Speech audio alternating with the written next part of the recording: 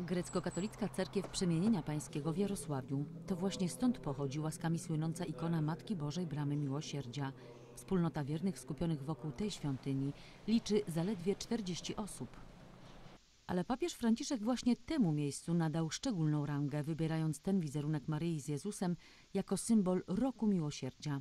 Ikona jest też tym oknem y, niebiańskiej światłości, y, gdzie możemy y, wypraszać wszystkie łaski, y, prosić y, u Maryi, cudownej ikony Bramy Miłosierdzia.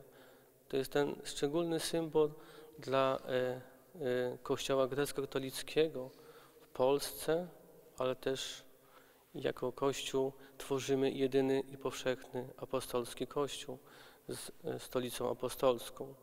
Papieska prośba o jarosławską ikonę przyszła tak nagle, że zaskoczyła nie tylko hierarchów Kościoła grecko-katolickiego, ale postawiła na baczność także muzealników i służby konserwatorskie. XVII-wieczne malowidło jest własnością muzeum, ale znajduje się w cerkwi. Trzeba więc było uzyskać natychmiastowe zgody na przewiezienie ikony do stolicy apostolskiej i podróż pod specjalnym nadzorem. Podkarpacki konserwator zabytków musiał wydać zgodę, musiała być opinia rzeczoznawcy, y, musiała być ochrona, y, także no, troszeczkę tych em, czynników trzeba było spełnić. Niemniej jednak udało się, ikona cało zdrowo przejechała tam i z powrotem. Było to wielkie wyróżnienie. Jak się okazuje, słynącą łaskami ikonę papież Franciszek znał już z dzieciństwa.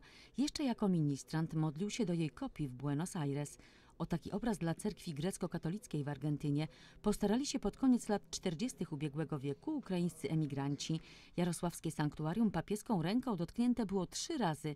W XVIII wieku Pius VI oznaczył ikonę jako cudowną. W 1996 roku papież Jan Paweł II poświęcił korony Matki Bożej i Jezusa, a teraz papież Franciszek uczynił obraz światowym symbolem miłosierdzia, ofiarowując Matce Bożej tę białą różę, która na zawsze zostanie już pamiątką tego historycznego dnia.